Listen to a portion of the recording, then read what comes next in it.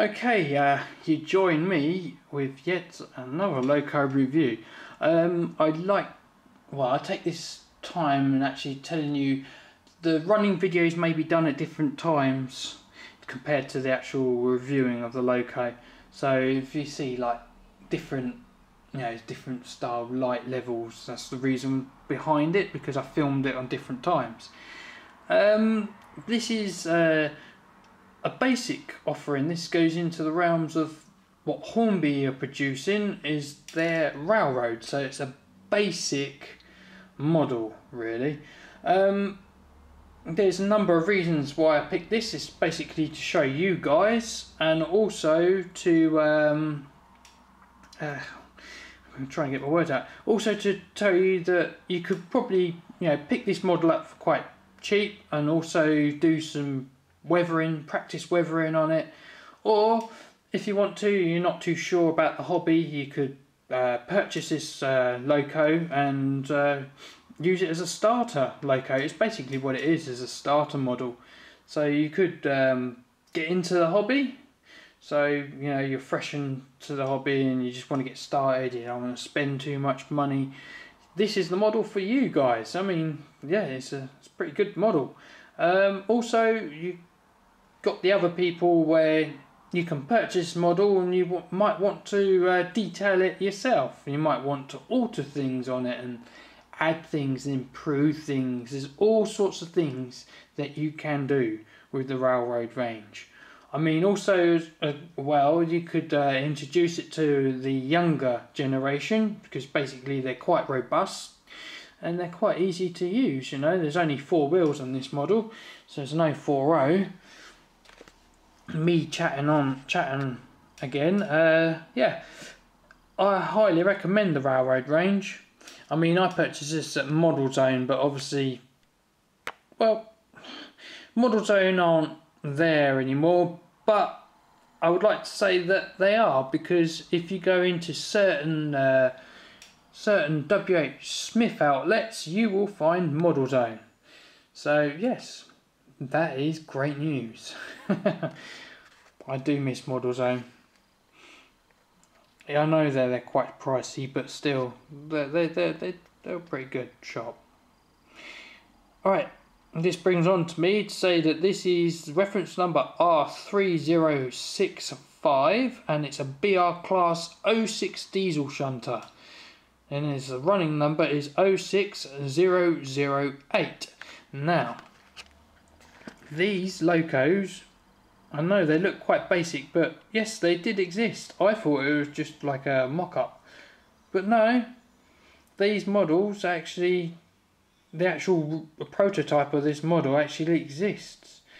And not just saying that as well, um, before I go into it, I do have a 1980s version of this uh, 06, which is in bits at the moment because I'm repairing it. It's got a lot of work going into it, but I will have her running. But for now, let's. So I do own two of these, by the way. So I've got uh, an old, and one made in England and one made in China. So let's take this out from the box. Let's have a look at the instructions. Okay, this is the locomotive operating and maintenance for an 040 locomotive H with a HP motor. Like we're all familiar with these. I've got quite a few of these now. I mean, I've only just started going into videoing some of my uh, models. And I know I do have quite a lot of basic stuff as well. Well, I've got more, how could you put it, more of the professional stuff, should we say. But I also have a, a number of the uh, basic the 040s and the reason for, for that is the collectors club is one reason. And the second reason is basically I want to purchase a cheap model where I can practice weathering. That's what I want to get into. So yes that's the reasons behind it. I move the camera up slightly. Okay let's uh, open up and see what we get basically it's, it's the usual how to gain access to the motor okay there's a number of different style models that you got here uh, there's a saddle tank there Uh, there's the diesel shunter what we're looking at, which is down there. And basically, if we look over here, how to remove the motor. It's basically a simple clip which is really easy to remove. Oh yes, and by the way, I will be DCCing one of these. It is possible. You can do it, and I will show you how in a due course video. I've got loads of videos to do. yeah, television suppressor. Get rid of that. You don't need it if you're running DCC. Well, you don't really need it in DC mode, to be honest. Not a lot of stuff suffers from interference anymore. Yep, lubrication. So all those parts where marked oil, that's where you lubricate. And I must really stress, only a tiny small amount. I mean, you do not want to over oil these because once the oil gets everywhere, it spreads everywhere. It's a pain to clean as well. I mean, I've done so many models where it's caked in oil, not just from people or from manufacturers. I mean, I've seemed to find Bachmann over oil their locomotives a lot. I don't know if you guys find that, but I have recently. Bachmann seem to over oil a lot, which is annoying. I always give it a clean before I before I put it on the track, before it spreads. Instructions up. Um, track cleaning was basically what I was going on about cleaning track. Locomotive body work, yes basically the uh, bodies are spray painted. Yeah, this is basically television suppression. uh, blast from the past. I remember, I remember my old models interfering with TVs. It doesn't do it so much anymore. Yeah, spares, spare, spare parts and servicing. Yep, okay. That's the instructions covered. Back to the model. Okay, it's uh, it's the basic uh, polystyrene packaging from Hornby. Um, I need to remove some sellotape at the side.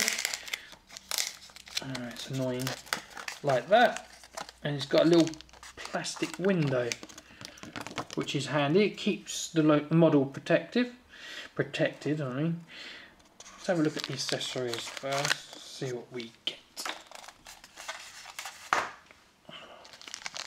Okay, uh, there's basically some vacuum pipe in there which you can add later on. I haven't done that yet, even though I've had this model for a while.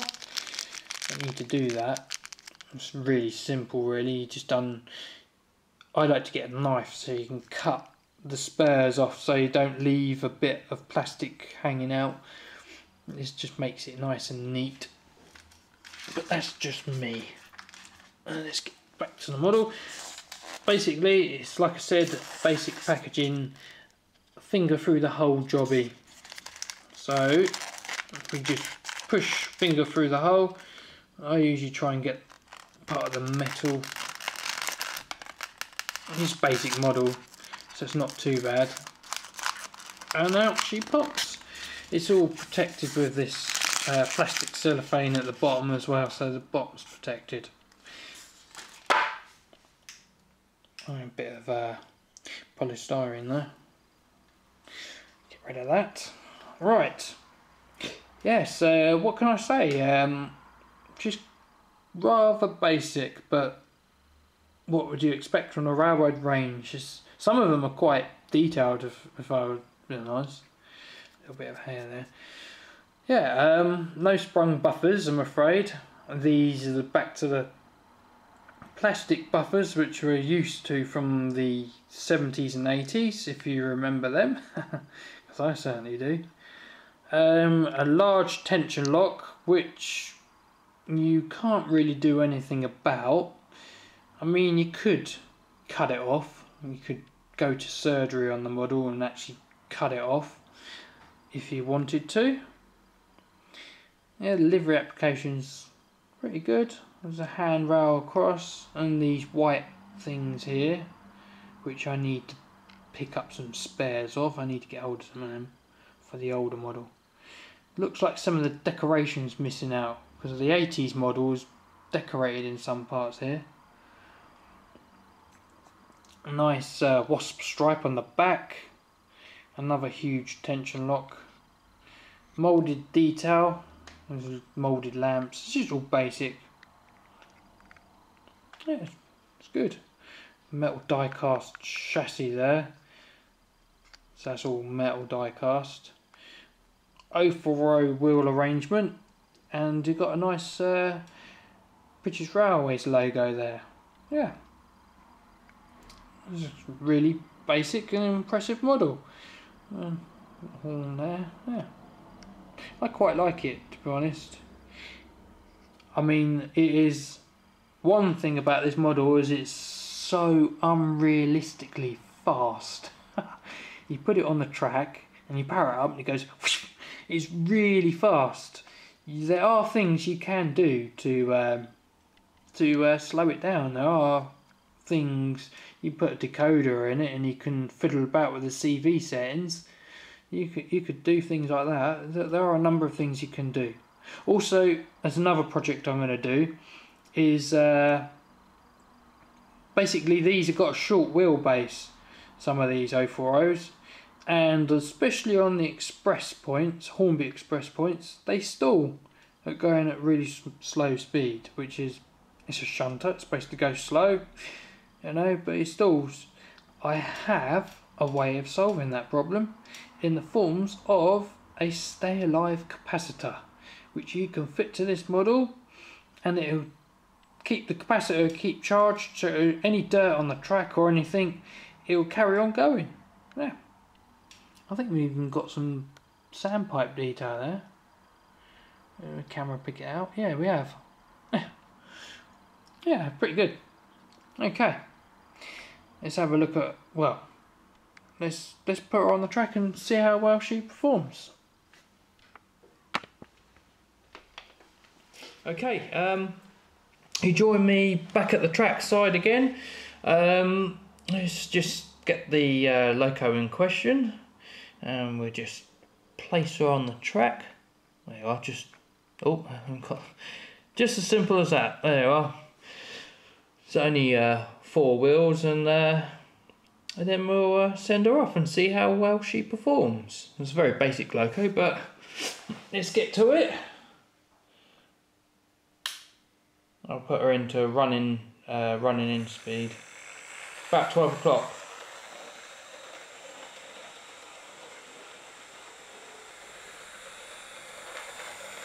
Here she comes.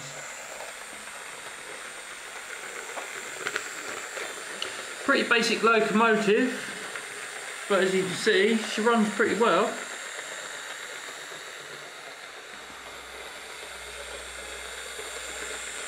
There she goes.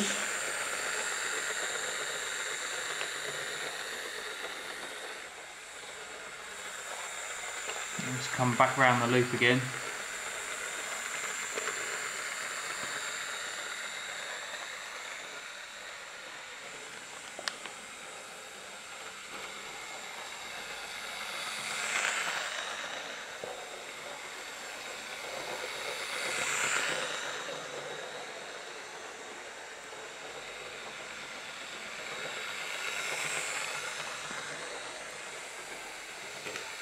Couple of still shots.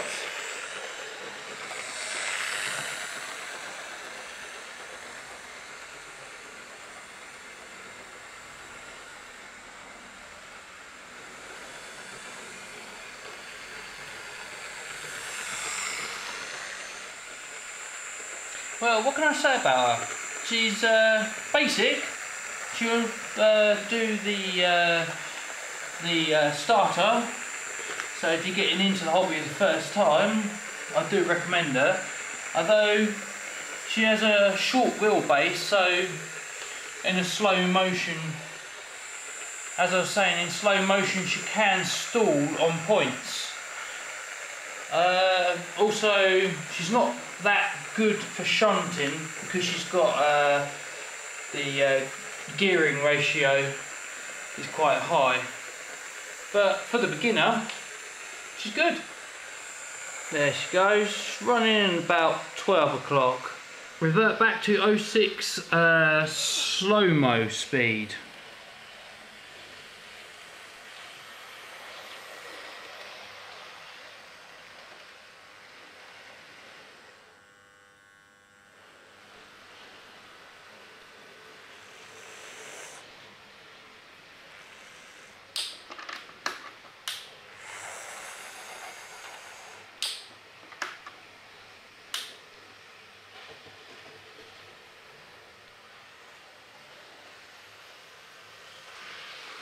I think that's as fast as I can get her going.